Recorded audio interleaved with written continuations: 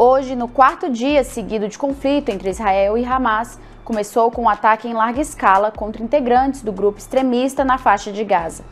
Segundo o Ministério da Defesa israelense, mais de 200 locais na região foram alvos de bombardeios, incluindo dois túneis que conectavam as regiões. Desde o início do conflito, já são mais de 1.500 mortos e milhares de feridos em Gaza e Israel. Além disso, segundo autoridades, 1.500 corpos de membros do Hamas foram encontrados em território israelense. Israel, que reposicionou 100 mil soldados na fronteira da faixa de Gaza, já autorizou oficialmente o sobrevoo e pouso de aeronaves brasileiras para repatriação. São ao todo 1.700 pedidos e a primeira aeronave da FAB deve chegar em território nacional nesta quarta-feira. Para saber mais, acesse o portal metrópolis.com.